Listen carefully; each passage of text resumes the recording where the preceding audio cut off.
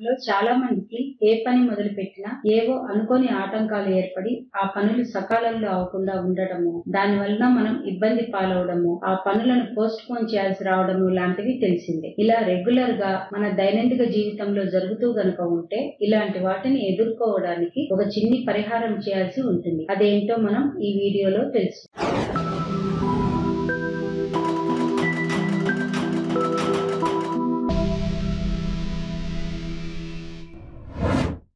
Rock salt గురించి మనందరికీ తెలిసిందే. దీనిని సైంధవ లవణము అని కూడా అంటారు. ఈ రాక్ సాల్ట్ సహజ సిద్ధంగా హిమాలయాల్లో రాళ్ళ రూపంలో ప్రకృతి మనకు ప్రసాదించిన ఉప్పు. ఇది తెలుపు ఎరుపు గులాబీ రంగుల్లో లభ్యమవుతుంది. ఏ పని సవ్యంగా జరగడం లేదని మానసికంగా కృంగిపోయేవారు తెలుసుకోవాల్సిన ఒక చిన్న విషయం ఏంటంటే మీ ఇంటి పరిసరాల్లో లేదా ఇంట్లో నెగటివ్ ఎనర్జీ ఉందని అర్థం చేసుకోవాలి. దానికి పరిహారంగా ఒక చిన్న మట్టి పాత్ర లేదా మట్టి మూతను తీసుకు తీసుకుని దానిలో ఒక గుప్పెడు రాక్ సాల్ట్ వేసి దానిని మీ యొక్క మాస్టర్ బెడ్రూమ్ ఏదైతే ఉందో దానికి అటాచ్డ్గా ఉండే వాష్రూమ్లోని షెల్ఫ్లో శనివారం పూట రాహుకాలంలో ఉంచాలి. అంటే ఉదయం పది గంటల నుంచి పన్నెండు ముప్పై లోపల ఉంచాలన్నమాట. రెండు శనివారాలు అలా గనక ఉంచి మూడో శనివారము ఆ మట్టి పాత్రలోని రాక్ సాల్ట్ని ఒక బకెట్ వాటర్లో వేసి దానితో మొత్తం ఇల్లంతా తుడవండి. మరలా ఆ మట్టి పాత్రలో ఫ్రెష్గా రాక్ సాల్ట్ వేసి అదే ప్రదేశంలో ఉంచండి.